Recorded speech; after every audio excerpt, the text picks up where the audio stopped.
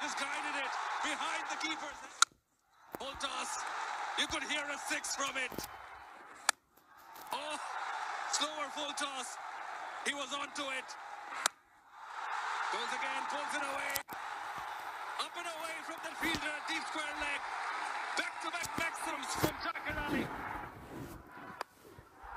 Wrapped it, just guided it behind the keeper's head. Result is another maximum to end the over. That makes it 20 runs of the Pathirana over. Jaker Ali was on onto it in a flash. 98 for 4.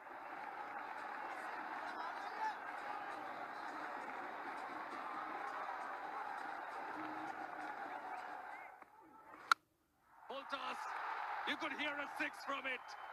It is from the bat of Jaker Ali. That makes it 11 of this over.